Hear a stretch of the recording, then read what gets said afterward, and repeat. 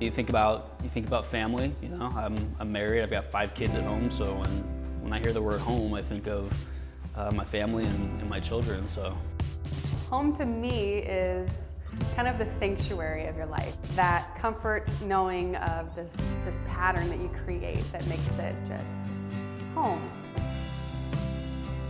I'm here because I would hope that if I had something like this going on that my team members would help me and just any opportunity to help somebody out is a good thing to do.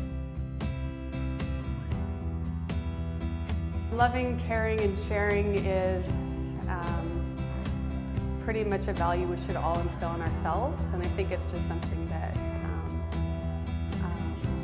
is in our nature anyways, but we need to practice it. It's just the extension of what we do at Swinomish. we're more than just a casino or a hotel or restaurants. You know, we're we're truly a, a partner in the community, and and uh, uh, we love the community. We care about the community, and we want to help out in, in, more ways than just being a nice, fun uh, place to go.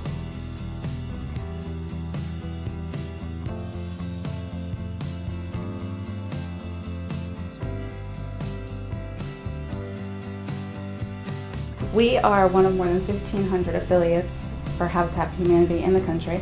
And since 1994, when we were started, we have built 31 homes. We're building our 32nd, 33rd, and 34th right now.